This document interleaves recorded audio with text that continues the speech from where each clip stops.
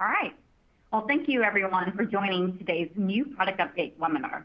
My name is Femi Galani, and today we'll be talking about ARM-based industrial networking processors for Industry 4.0.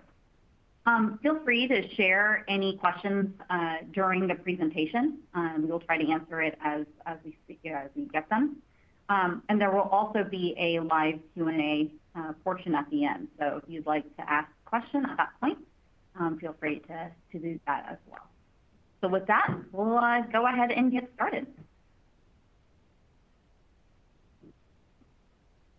All right, so um, today we'll be covering um, a few topics. One, uh, just what is Industry 4.0? Uh, two, it'll be about around industrial protocols. What are they and why are they so important? Um, and three, what are some of what is kind of what TI is doing um, in terms of TI solutions uh, to enable Industry 4.0, and some of our partners as well. Um, and then open it up to a Q&A at the end. So we'll try to cover the first uh, first four topics um, uh, pretty well, and then and but even then, if you have any questions as we go through the presentation, um, please feel free to send them in. Thank you. All right, so first off, uh, what is uh, this uh, Industry 4.0, and what is uh, what is this evolution? Kind of the, these trends, where are they moving? Um, so really, Industry 4.0 enables or focusing on enabling connected smart factories.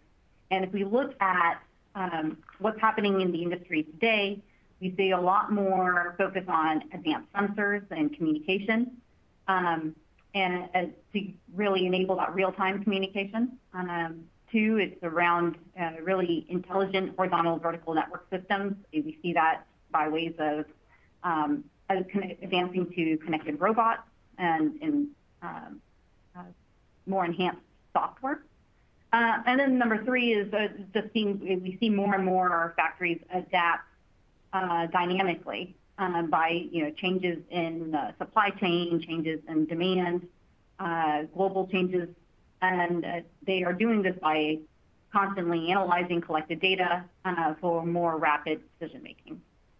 And as we see kind of this, shift towards this Industry 4.0 that I described, uh, really we see this shift kind of go into and has been going in phases, right? We started back um, in the early 1800s really around how do we harness power uh, to, make things. Um, and so whether that was you know, looking at water power, steam power, um, and then converting that energy that was where a lot of that early uh, focus was, Industry 1.0. 2.0 really focused on how do we uh, mass produce, right, a lot of our, goods and tightening some of the quality control so variations from product to product are, those deviations are minimized. Uh, 3.0 focused more on computer automation um, and really improving that efficiency overall, uh, changing, moving from manual assembly more towards automated assembly. And really where we are in this fourth stage here, um, where we're um, kind of entering the world of more intelligent robotics. These systems are more connected together uh, and, uh, and also dynamically talking and, adapting in real time. Quick fun fact for you all here. Um, back in 1977, actually TI uh, developed the very first PLC it was field bus based, um, but you know we actually have been part of this journey from the very beginning, and so it was really cool to see as we continue to evolve um, our you know TI's role in that and enabling that journey um, is uh, is very key as well. As we kind of look at those protocols and those trends, um, and see if I can get there we go. The slide's advanced here. Uh, if you look at these protocols and these trends, right, on the communication side, that's kind of where a lot of the, changes have happened over the years. Um, around 2019, you can see a lot of that communication was field bus based. Um, or was still field bus based, but growing into more industrial Ethernet. And, we continue to see that growth of industrial Ethernet um, as even today. So, field bus is still a very big part of the market, and that's kind of where a lot of the original innovation or original communication lines uh, uh, operated off of. But as we move uh, kind of into the future, we continue to see that industrial Ethernet pie continue to really grow. You do see a little bit of wireless growth, um, but it is a lot smaller. And I'll actually um, speak to that a little bit as to why uh in a in a couple of slides or so.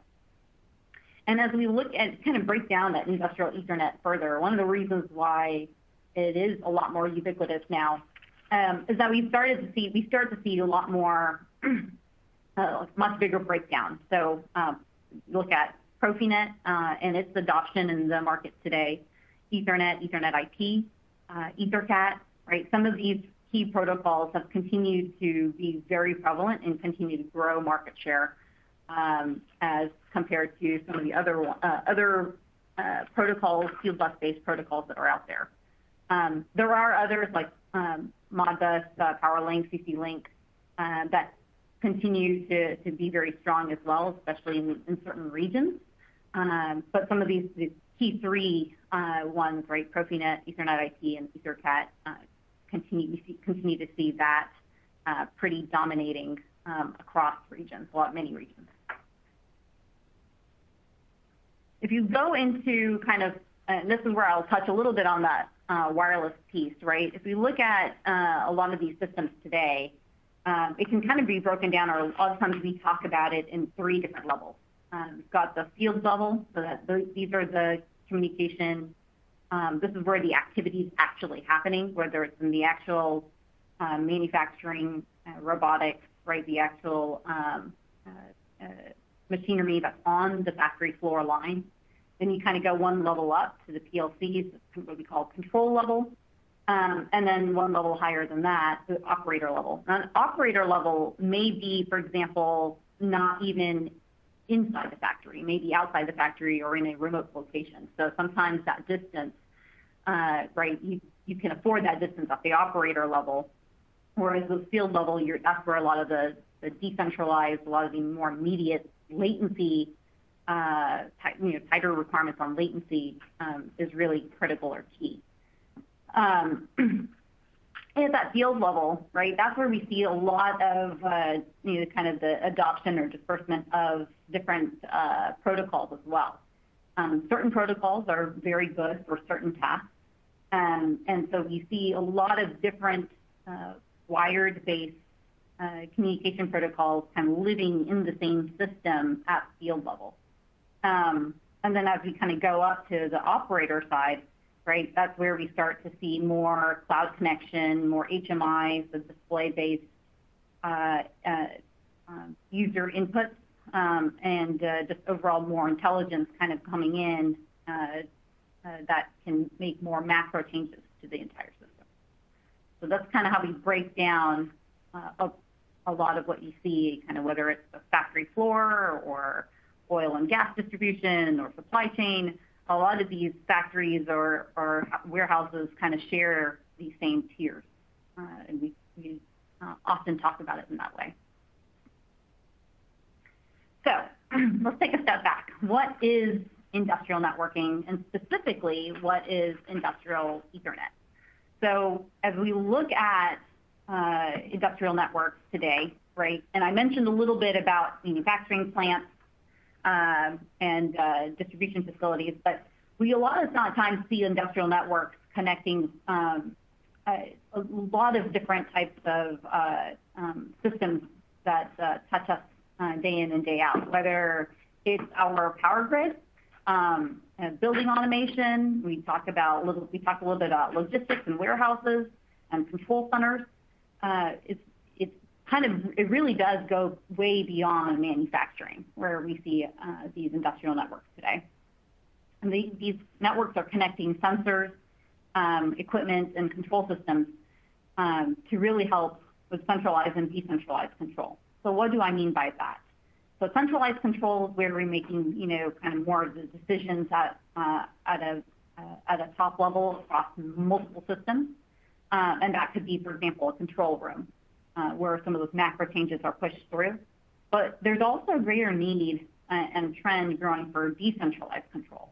Um, a lot of these systems, as they get larger and larger and larger, right, start to introduce, for example, time delay, or they may not be as real-time able to react in real time.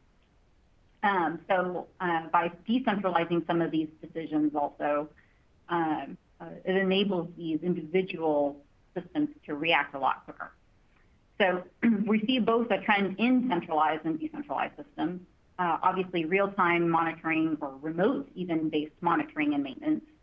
Uh, and then data uh, collection for advanced analytics and optimization. That could be whether it's for um, scalability, for upgradeability, or even being able to supply or sorry, support Uh, multiple suppliers. Uh so especially in this day and age, um, you know, where we have had periods of uh, supply chain uh, breaks you know, across, whether it's through um, for different regional reasons or cost reasons or whatever, what may it be, being able to support multiple suppliers at different times and being able to insert them in Um, becomes key as well. Right? So you want to have that flexibility built in. So overall, right, these industrial networks are are needing to be very flexible uh, to cover all of these different tasks. In addition, a lot of times these industrial networks are operating in very harsh environments, um, and they have to cover very large distances uh, and uh, be upgradable. So as factories expand or add sophistication, the industrial networks need to be able to adapt as well. Industrial networks can also, because of this, they also reduce operational costs uh, by improving product quality, um, improving throughput or productivity, and then just continuing to be able to scale, which uh, I covered. So how do we achieve this? Is a lot of times industrial Ethernet is really um, ends up being the answer, a clear winner, uh, because it has a very standards-based MAC layer uh, and its ability to support real-time, very deterministic data. Uh, so we continue to see Ethernet-based protocols um, evolving. And then, like I shared, there's many different types out there that have different advantages and um, and are used for different parts of the system, and we continue to see that growing. Now, that's not without some downsides. Uh, so some of the challenges that we have with industrial Ethernet today uh, include, uh, one is lack of unified networks. If you look at a lot of the Ethernet-based protocols that are out there, um, they don't really operate with each other very nicely. They don't speak to each other. Um, and often, a lot of these Ethernet networks were actually developed by different standards bodies, Um, where the target features and the performances are not very uh, convergent. Right? So um to the end of that, some some of these Ethernet uh, uh, standard bodies actually view other protocols as maybe a competitor as well. So you have to deal with interoperability, and sometimes that actually gets um, end customers to where they've got to actually support uh, or manage heterogeneous networks. That can be a challenge sometimes. Um and also, not all networking equipment is uh, IEEE compliant. Um so one very good example of this is EtherCAT and Profinet, for example. Um, both of these actually have non-standard switch in hardware. and hardware. Uh, that can lead to Uh, more special MACs for both the device and switch um, that uh, requires a modification in hardware design as well as software.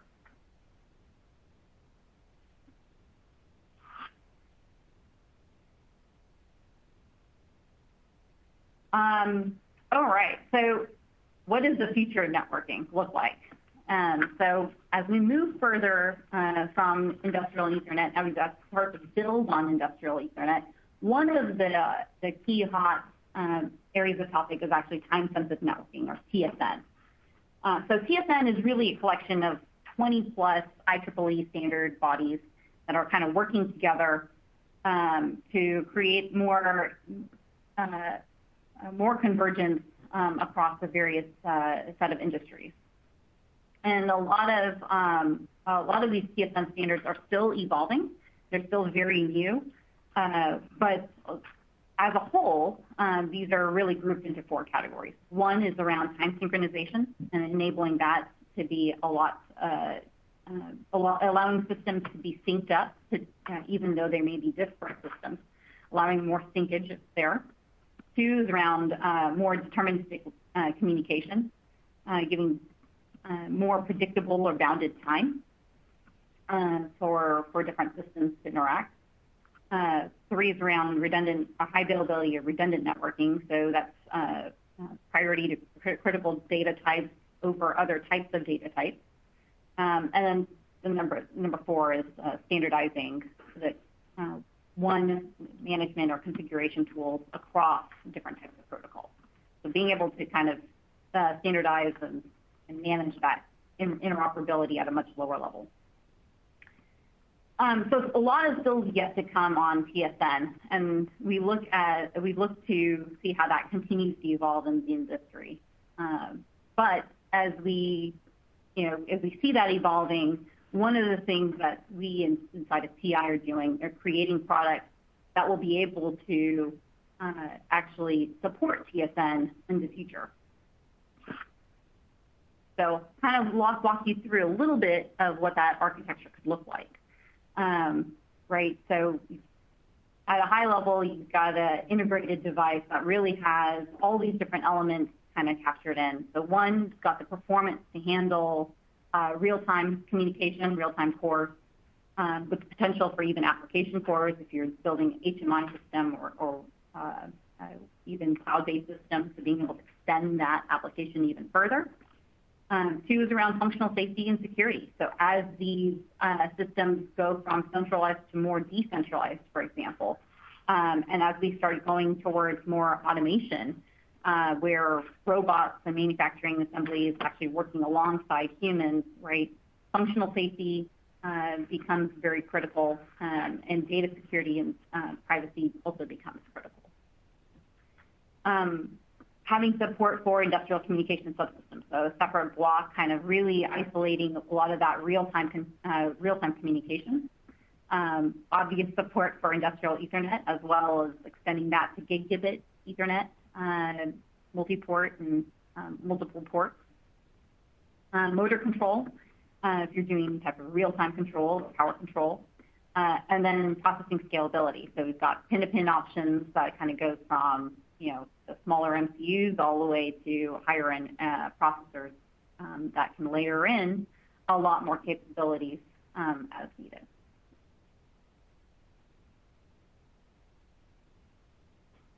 So we look across uh, the portfolio, um, for example, we at TI have uh, a number of products that we have already available today and are Uh, fully built with software uh, to devices that we even are continuing to uh, invest in um, in the near future. Um, that will continue to enable Industry 4.0, right? As we even as we move into more of the TSN. Uh so that's on the microcontroller side with the R5 base cores. Um, you'll see that on TI's website with the AM2426X family. Going to Um, our processor cores that starts to layer in Cortex-A devices, um, with support for uh, other OSes like Linux or Android. And then continue to extend that even further uh, with our um, AM6A, 69A families and DRA8X families that start to also bring in uh, much higher levels of, let's say, analytics, right, on top of a lot of that. So kind of even talk a little bit about more of the field-level communication and the kind of the mid-level and then the operator level. Uh, this nicely spans, this portfolio also can nicely span a lot of those applications as well. So with that, um, you can kind of see this is another way of showing it. So field level, control level, operator level, how a lot of our portfolio today stacks in. Um, Um, so uh, feel free to uh, check us out on ti.com. We've got a ton of content uh, available, um, both in getting started, um, evaluation platforms, uh, as well as demonstrative. We actually have um, really cool demonstrations that we can show, um, and we'd love to show you more. But all of this would not be possible without very strong partners in this space as well. And that's where uh, TI actually uh, works with a lot of uh, our key ecosystem partners to really make sure that um, we can provide not just the silicon, but also the software uh, that our customers need to really get started quickly. So if you look on our website today, you'll find that TI actually provides um, one certified TI development platform. These are certified, protocol certified um, on our, TI EVM, our TI development uh, boards. Our SDK uh, actually includes a lot of these uh, protocol stacks um, as part of that. And, and customers can actually get the devices that are fully enabled with these protocols, um, all including the stack license um, directly from TI and then as TI continues to invest in the space and continues to add to its offering, right, those feature updates um, and even software support come directly from TI as well. So uh, we're very excited about our kind of full portfolio offering that we have in this space. Uh, and then in addition, right, we also work with a lot of uh, key third parties in this space that can actually continue to add to our offering by uh, providing other features as well. If you'd like to see kind of what these uh, partners offer, you know, feel free to check them out. But we've had some pretty uh, um, good players or pretty good ecosystem partners that our customers can work with to help their products get out to the market even faster. So with that, I do want to um, pause right here and uh, actually take a look at uh, some of the Q&A. So if you have any questions, please feel free to um, send them in, um, and we'll actually take them at this time.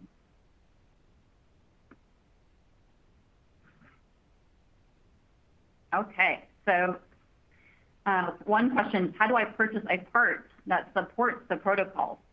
Uh, so our devices that actually support those protocols are available. Um, you can actually find the information on our website on ti.com. So a lot of the products uh, that uh, that I shared with or mentioned today, um, if you look actually it, within the data sheet, we actually list out which products um, support which protocols, so you can actually get them that way. And we actually have additional material on our website as well.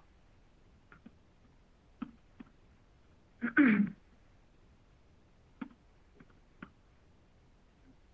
I think I see another question around uh, uh, what software do our ecosystem partners support? Um, a lot of those questions or a lot of those details on exactly what their off are their exact offering um, on which TI platform and what is their specific offering, that information is actually available on their website. Uh, so feel free to check out their website. Um, since given that TI has such a large portfolio in this space, uh, a lot of our partners, um, you know, kind of hone in on very specific uh, uh, software offerings. Uh, so a lot of that information can be found directly uh, directly through them.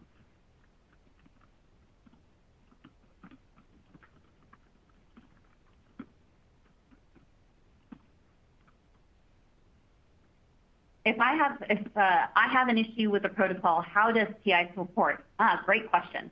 So a lot of um, uh, a lot of customers, as they are developing their their products, um, have access to our TI E2E community, uh, and that community actually enables customers to freely ask whatever questions that they may have as they're going through the development, um, as well as Uh, offer opportunity for our engineers to provide direction, additional direction as needed. So, um, you have an issue or, uh, you know, in getting it working or trying to adjust the setting or whatever, uh, and are getting feeling like you're getting stuck, um, not to worry. Our TI E2E is a great place to go, great resource, where we actually have our engineers um, supporting customers, many customers today. And you can ask, Uh, feel free to ask away.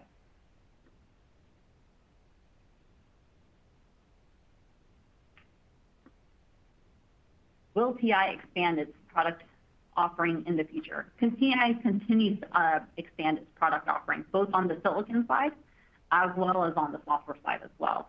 Um, and we continue to work with our ecosystem partners um, in this space in addition. Um, just like TI was there in the early days of uh, factory automation and Industry 1.0, 2.0, uh, you know, this is a key area um, that TI plans to um, continue to grow its offering. So You'll see, uh, for example, from software release, from one software release to the next, we uh, continue to add features, and we continue to add new products um, in this space. So, actually one very cool area that I'm very excited about.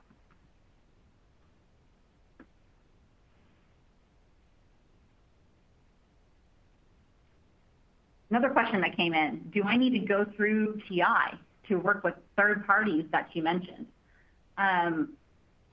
So actually, TI offers uh, uh, both ways, right? So customers wanna come directly to TI and get a lot of the licenses and stacks directly from uh, TI. Uh, they're able to do so, and our products on our website actually mm, will give you more information on which products support which protocols. For some customers, uh, for other customers that uh, prefer to use their own, for example, stack vendor or maybe have their own customized version of a stack that they'd like um, instead, like to use instead, um, we provide that flexibility as well. So it really allows, you know, we really give the flexibility to the end customer or the end user to decide um, how much of uh, that software they would like from TI or from TI to provide uh, versus how much of it they would like to go and um, have to add on their own. Um, that flexibility is uh, with the customer.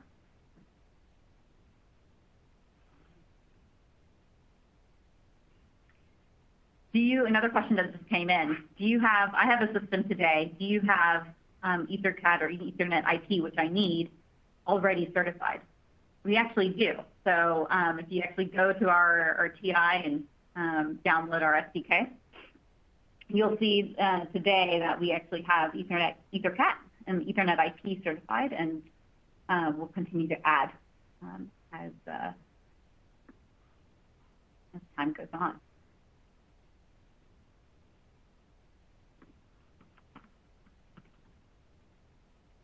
All right. I think we've got time for maybe one more question here.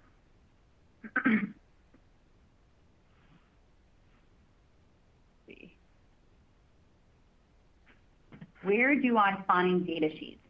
So all of our data sheets for our products are available on ti.com. You go to our uh, website today uh, and go to any of the product pages, uh, our our data sheet would be actually the very top link of the product. Uh, and uh, you know, feel free to check that out.